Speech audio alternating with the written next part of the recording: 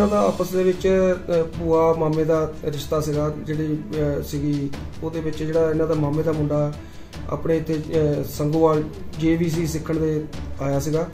ਉਹਨਾਂ ਵਿੱਚ ਇਹਨਾਂ ਦੇ ਆਪਸ ਦੇ ਵਿੱਚ ਕੋਈ ਨਜਾਇਜ਼ ਰਿਲੇਸ਼ਨ ਬਣ ਗਏ ਤੇ ਉਹਦੇ ਕਰਕੇ ਫਿਰ ਜਿਹੜੀ ਉਹ ਲੜਕੀ ਪ੍ਰੈਗਨੈਂਟ ਹੋ ਗਈ ਸੀ। ਉਹਦੇ ਬਾਰੇ ਸਾਨੂੰ ਇੱਕ ਛਾਬੜਾ ਹਸਪੀਟਲ ਤੋਂ ਇੰਟੀਮੇਸ਼ਨ ਆਈ ਸੀਗੀ। ਉਹਦੇ ਵਿੱਚ ਉਹਨਾਂ ਨੇ ਇੰਟੀਮੇਟ ਕੀਤਾ ਸੀਗਾ ਕੋਈ ਕਰੀਬ 16 15 16 ਸਾਲ ਦੀ ਲੜਕੀ ਦਾ ਜਿਹੜਾ ਡਿਲੀਵਰੀ ਹੋਈ ਆ। ਉਹਦੇ ਸਬੰਧ ਚ ਅਸੀਂ ਤੁਰੰਤ ਐਫ ਆਈ ਆਰ ਦਰਜ ਕਰਕੇ ਅਹ, 376 315 316 6 ਪੋਸਕੋ ਐਕਟ ਦੇ ਵਿੱਚ ਰਜਿਸਟਰ ਕਰਕੇ ਤੇ ਉਹਦੇ ਵਿੱਚ ਜਿਹੜਾ ਆ ਅਸੀਂ ਇਹ ਦੋਸ਼ੀ ਗ੍ਰਿਫਤਾਰ ਕੀਤੇ ਨੇ।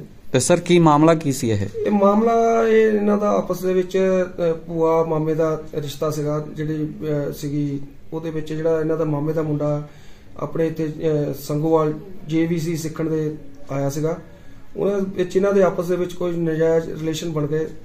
ਤੇ ਉਹਦੇ ਕਰਕੇ ਫਿਰ ਜਿਹੜੀ ਉਹ ਲੜਕੀ ਪ੍ਰੈਗਨੈਂਟ ਹੋ ਗਈ ਸੀ ਜਦੋਂ ਇੰਟੀਮੇਸ਼ਨ ਮਿਲੀ ਹੈ ਇਹਦੇ ਤਹਿਤ ਹੀ ਐਫ ਆਈ ਦਰਜ ਕਰਤੀ ਹੈ। ਤੇ ਸਰ ਕਿੰਨੇ ਦੋਸ਼ੀ ਹੈ ਇਹਦੇ ਚ ਇਹਨਾਂ ਦੇ ਵਿੱਚ ਹਲੇ ਤਫਤੀਸ਼ ਦੇ ਵਿੱਚ ਦੋ ਦੋਸ਼ੀ ਨੇ ਇੱਕ ਜਿਹੜਾ ਮੇਨ ਦੋਸ਼ੀ ਆ ਹਰਪ੍ਰੀਤ ਸਿੰਘ ਇੱਕ ਨਾਲ ਊਸ਼ਾ ਰਾਣੀ ਆ ਜਿਨ੍ਹਾਂ ਨੂੰ ਇਹਦੇ ਮੁਕੱਦਮੇ 'ਚ ਗ੍ਰਿਫਤਾਰੀ ਪਾਈ ਹੈ ਤੇ ਸਰ ਇਹ ਆਰੋਪੀ ਕਿੱਥੇ ਦੇ ਰਹਿਣ ਵਾਲੇ ਆ? ਇੱਕ ਆਰੋਪੀ ਸੰਗੋਵਾਲ ਦਾ ਪੀਐਸ ਬਿਲਗਾ ਇੱਕ ਆਪਣੇ ਇੱਥੇ ਨਕੋਦਰ ਦੇ ਨੇ ਊਸ਼ਾ ਰਾਣੀ। ਇਹ ਸਰ ਊਸ਼ਾ ਰਾਣੀ ਦੇ ਕੋਲ ਇਹ ਪਤਾ ਲੱਗਾ ਜੀ ਜਿਹੜੀ ਊਸ਼ਾ ਰਾਣੀ ਆ ਇਹਦੇ ਕੋਲ ਅਬੋਰਸ਼ਨ ਕਰਾਉਣਾ ਸੀ ਜਾਂ ਡਿਲੀਵਰੀ ਕਰਾਉਣਾ ਸੀ? ਇਹ ਹੁਣ ਤਫਤੀਸ਼ ਦੇ ਵਿੱਚ ਇਹਦੇ ਕੋਲ ਹੁਣ ਇਹਦੀ ਪੁੱਛਗਿੱਛ ਕਰਾਂਗੇ ਵੀ ਕੀ ਇਹ ਇਹ ਕੰਮ ਕਰਦੀ ਹੈ ਪਹਿਲਾਂ ਤੋਂ ਵੀ। ਜੀ।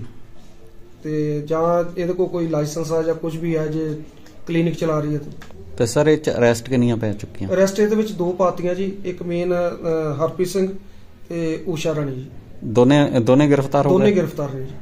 ਤੇ ਹੁਣ ਕੀ ਕਾਰਵਾਈ ਕੀਤੀ ਜਾ ਹੁਣ ਰਹੀ? ਅਗਲੀ ਤਫਤੀਸ਼ ਅਮਲ 'ਚ ਲਿਆ ਰਹੇ ਆ।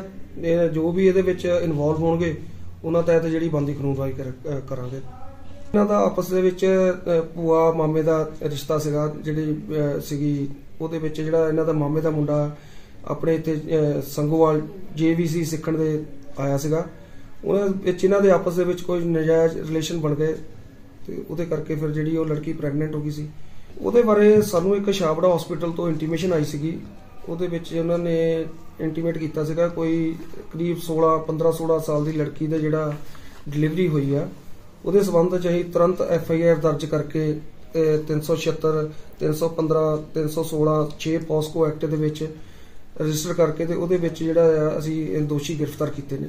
ਤੇ ਸਰ ਕੀ ਮਾਮਲਾ ਕੀ ਸੀ ਇਹ? ਇਹ ਮਾਮਲਾ ਇਹ ਇਹਨਾਂ ਦਾ ਆਪਸ ਦੇ ਵਿੱਚ ਭੂਆ ਮਾਮੇ ਦਾ ਰਿਸ਼ਤਾ ਸੀਗਾ ਜਿਹੜੀ ਸੀਗੀ ਉਹਦੇ ਵਿੱਚ ਜਿਹੜਾ ਇਹਨਾਂ ਦਾ ਮਾਮੇ ਦਾ ਮੁੰਡਾ ਆਪਣੇ ਇੱਥੇ ਸੰਗੋਵਾਲ ਜੀਵੀਸੀ ਸਿੱਖਣ ਦੇ ਆਇਆ ਸੀਗਾ।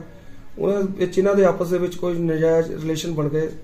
ਤੇ ਉਹਦੇ ਕਰਕੇ ਫਿਰ ਜਿਹੜੀ ਉਹ ਲੜਕੀ ਪ੍ਰੈਗਨੈਂਟ ਹੋ ਗਈ ਸੀ ਜਦੋਂ ਇੰਟੀਮੇਸ਼ਨ ਮਿਲੀ ਹੈ ਇਹਦੇ ਤਹਿਤ ਹੀ ਐਫ ਆਈ ਦਰਜ ਕਰਤੀ ਹੈ। ਤੇ ਸਰ ਕਿੰਨੇ ਦੋਸ਼ੀ ਹੈ ਇਹਦੇ ਚ ਇਹਨਾਂ ਦੇ ਵਿੱਚ ਹਲੇ ਤਫਤੀਸ਼ ਦੇ ਵਿੱਚ ਦੋ ਦੋਸ਼ੀ ਨੇ ਇੱਕ ਜਿਹੜਾ ਮੇਨ ਦੋਸ਼ੀ ਆ ਹਰਪ੍ਰੀਤ ਸਿੰਘ ਇੱਕ ਨਾਲ ਊਸ਼ਾ ਰਾਣੀ ਆ ਜਿਨ੍ਹਾਂ ਨੂੰ ਇਹਦੇ ਮੁਕੱਦਮੇ 'ਚ ਗ੍ਰਿਫਤਾਰੀ ਪਾਈ ਹੈ ਤੇ ਸਰ ਇਹ ਆਰੋਪੀ ਕਿੱਥੇ ਦੇ ਰਹਿਣ ਵਾਲੇ ਆ? ਇੱਕ ਆਰੋਪੀ ਸੰਗੋਵਾਲ ਦਾ ਪੀਐਸ ਬਿਲਗਾ ਇੱਕ ਆਪਣੇ ਇੱਥੇ ਨਕੋਦਰ ਦੇ ਨੇ ਊਸ਼ਾ ਰਾਣੀ।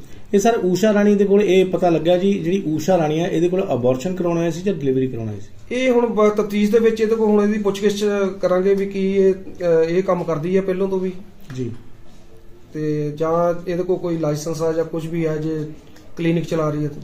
ਤੇ ਸਰ ਇਹ ਚ ਅਰੈਸਟ ਕਿੰਨੀਆਂ ਪੈ ਚੁੱਕੀਆਂ? ਅਰੈਸਟ ਇਹਦੇ ਵਿੱਚ ਦੋ ਪਾਤੀਆਂ ਜੀ ਇੱਕ ਮੇਨ ਹਰਪ੍ਰੀਤ ਸਿੰਘ ਤੇ ਊਸ਼ਾ ਰਾਣੀ ਜੀ। ਦੋਨੇ ਦੋਨੇ ਗ੍ਰਿਫਤਾਰ ਹੋ ਦੋਨੇ ਗਏ ਗ੍ਰਿਫਤਾਰ ਨੇ ਜੀ। ਤੇ ਹੁਣ ਕੀ ਕਾਰਵਾਈ ਕੀਤੀ ਜਾ ਹੁਣ ਰਹੀ? ਅਗਲੀ ਤਫਤੀਸ਼ ਅਮਲ 'ਚ ਲਿਆ ਰਹੇ ਆ। ਇਹ ਜੋ ਵੀ ਇਹਦੇ ਵਿੱਚ ਇਨਵੋਲਵ ਹੋਣਗੇ ਉਹਨਾਂ ਤਹਿਤ ਜਿਹੜੀ ਬੰਦੀ ਅਹ ਕਰਾਂਗੇ।